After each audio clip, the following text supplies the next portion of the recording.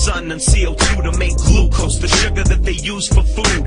They also put oxygen into the air so we can share because oxygen is everywhere. If I were to tell you that there are camels that have humps, there are trees that climb other trees, you might see them here. These are these things that are hanging off them are the different trees that actually climb this tree. And there are actual plant-like organisms, there's plant-like organisms that use chemicals to produce food, not sunlight. Usually all plants produce, use sunlight, these use chemicals. If I were to tell you that this is actually a fact, and then I were to ask, you know, why is this, why is this happening? Why do these different organisms have these adaptations? What you might tell me is, you know, I can give you that answer if you tell me what kind of environment they live in. And that would be a very good answer because the actual dot point says identify some adaptations of living things to factors in their environment. So this dot point is all about that. It's saying, you know, you should have know the adaptations, but know why as well. So how the adaptations are linked to the environment they live in. That's what we're going to do in this video. We're going to cover these three examples and relate that to environment. So why do we have these adaptations? Because they live in certain environments. For example, we mentioned these here. These are the plants that use chemicals to produce their food. So they produce use chemicals to produce food. Now you might again you might ask, you know, why don't they use sunlight like all other different plants? So why don't they use the sun to be able to produce their food? And yeah, these don't. And the reason why is because this is their environment. Here we have a deep sea deep sea vent. This comes actually from underground, so under the volcanoes. The erupt, and there are these hot lava coming into the ocean. And with the actual hot lava, there's also lots of sulfur. And this is what I mean by the chemicals. They often use sulfur to produce their energy.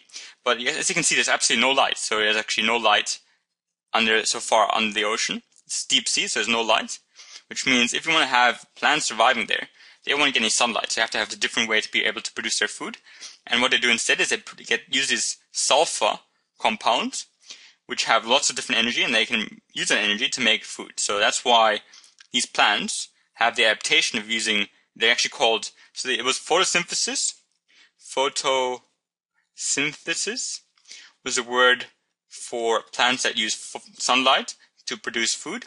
Photo meant sun or sun ray, and synthesis means make. So they use sun to make food, whereas these guys are actually chemo synth they make chemosynthesis as opposed to photosynthesis, and it's the same thing, same, it's a very similar procedure, except they don't use they don't use the energy from the sun, but they use the energy from chemo, so from chemicals. But yeah, now we've just explained the adaptation, so the fact that they can do chemosynthesis, which is a physiological adaptation. So it's physiological, and the reason why it's physiological is because it happens inside their body, it's not structural or behavioral, it's physiological. And the reason why they have an adaptation is to be able to actually get energy, make their own food, because otherwise they wouldn't be able to survive. And they can't use sunlight because they have no sunlight. And the other question I had is, you know, why are there trees that climb other trees? These trees, these small figs here, we actually we call them figs in this example. They're figs. So why do these figs exist? Why would they climb trees? And the reason why is because their usual habitat the usual environment to live in is the jungle. And as you can see here, it's very crowded. So it's very crowded, which means there's not much space and there's also not much sunlight. And all plants want sunlight. So there's a lack of sunlight, which would be really bad for the actual survival of the figs.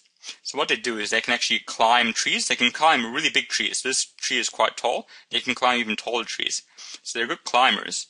What it helps them to do is it helps them to get all the way to the top and then when they're on the top, so I'll just draw a tree here, one tree. Bad attempt at a tree, sorry about that. And then this climber, which I'll just do in yellow. Eventually he gets to the top, and then when he's at top, he'll produce his leaves. And leaves obviously need sunlight, and because they're at the top, they're going to get enough sunlight to be able to do photosynthesis. So the reason why you know these trees have the adaptation to be able to climb properly is because they live in an environment that has no sunlight because it's so crowded and there's little sunlight left for the, especially if you're on the bottom. You don't want to be on the bottom, you want to be on top. And by climbing trees, they can get to the top. So that's what that adaptation was all about. Obviously, this example, I mean, the next one you might actually have known generally because it's maybe a quite general example, the camel.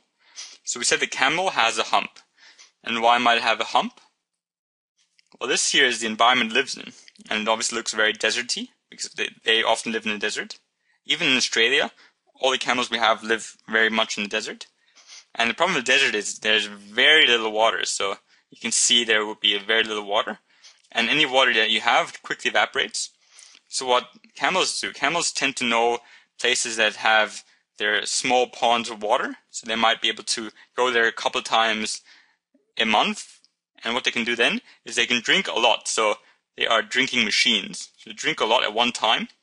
And then they use that hump. And you can imagine a hump is filled full of water. So lots of water in here. And then they use that water over the space of a couple of weeks to not die, more or less. So that adaptations allows us to be able to survive the desert because in the desert there's no water.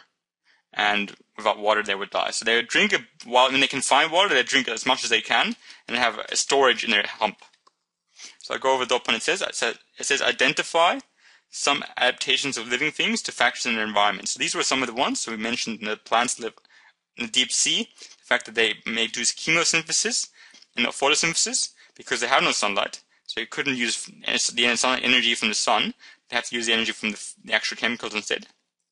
We said that the figs, which often live in rainforests or jungles, they have very little sunlight because there's very little sunlight in the rainforest. So what they can do is they can just climb a big tree and then make the leaves reappear on top. And that means they actually their leaves will get enough sunlight. And then we also the desert camel. It has a huge hump be able to store water. So it's there's little water in the desert. So if it can find a pond of water, it'll drink as much as it can, have a storage for a couple of weeks, and then until it finds the next pond, and then drink all that again.